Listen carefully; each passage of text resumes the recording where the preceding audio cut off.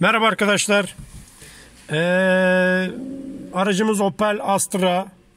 Üzerinde şöyle göstereyim. AKL marka yeni sistem LPG var. Şikayetimiz gaza geçmiyor.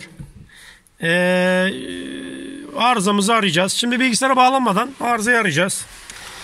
Diyelim ki bilgisayara yok, bilgisayarınız yok. Aşağı yukarı böyle bir arızayla karşılaştınız. Arızayı nereden aramaya başlayabiliriz?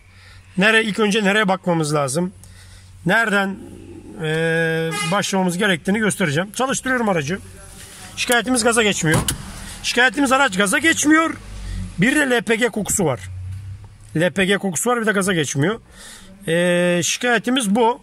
Şimdi LPG kokusu varsa ya regülatör basıncı fazla koku yapıyor veyahut da bir yerden bir boru çıkmıştır. Yani hiç bakmadan şimdi teşhisim bunlar.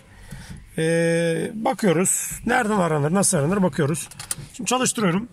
Düğme ışıklar geldi. Çalıştırdım. Evet, araç çalıştı. Şimdi bakın gaza geçecek mi? Çıt etti. Valf vurdu ben duydum. Etti. Bir gaz kokusu geldi. Gaz sesi geldi. Büyük bir ihtimal hortum çıkık. Ve düğme öttü. Duydunuz mu bilmiyorum. Düğme bip bip bip öttü. Yani gaza geçmeye niyetlendi araç. Şimdi demek ki gaza geçmeye niyetleniyorsa yani o dediğimiz gibi zaman ayarlı demek ki. Sıcaklık da doğru okuyor. Sıcaklığı da doğru okuyor. Araç devrini doğru okuyor. Yani 3 tane parametremiz okunuyor. Araç devrini okuyor. Sıcaklığı okuyor. Ve belli bir zaman geçmesi lazım. Onu da ayarlı demek ki. O da bir atıyorum 5 saniye ise 5 saniye sonra tık diye gaza geçiriyor. Bunlar okuyor. Bunlar oku, bunlar okuduğu için gaza geçirmeye çalışıyor aracı. Şimdi gaza geçti. Bir pip pip öttü ve gaz kokusu geldi. Büyük bir tane bir yerden hortum çıkık. Bakıyoruz. Kaput açalım. Kaputu açtık. Aracımızın motoru bu. Şimdi gaz kokusu gelmiş kapağımızı. Şimdi burada regülatör filtremiz orada. Evet, evet, evet, evet, evet arıza burada. Enjektörün hortumu çıkmış. Gördüğünüz gibi ee, gözüküyor herhalde. Bu map. Mapımız burada AKL. Enjektörümüz burada.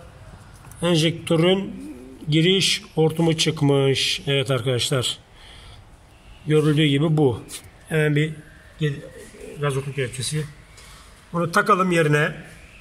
Tekrar deneyelim. %10 yani arıza bu zaten belli. Araç şimdi burada araç devri okuyor. Sıcaklığı okuyor. Her şey okuyor ama gaza geçirmiyor. Gaza geçtiği zaman bip bip bip ötüyor. Bip bip bip ötmesi demek e, gaz basıncı yok veya gaz bitti gibi görüyor kendini. Şimdi burada da gaz ortam çıkı olduğu için map map basıncı okuyamadığı için gaz bitti diye okuyup tak bakalım.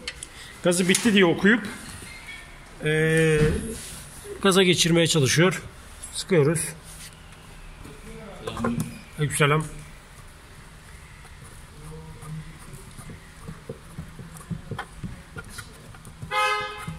Dedektörle de tekrar kaçana bakarız. Evet. Hortumu sıktık.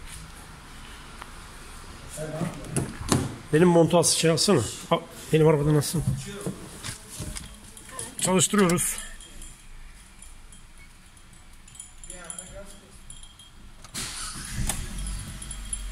Çalıştırdık.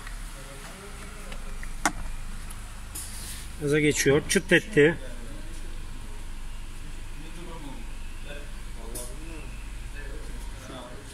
Evet. Gaza geçti araç. Araç gaza geçti. Gaz kokusu da yok. Demek ki derdimiz buymuş. Zaten belliydi bu. Aracın gaz kaçağına bakacağız. Gaz kaçağına bakacağız. Ee, aracı yollayacağız. Bütün şikayetimiz buymuş. Üzerinde AKL var.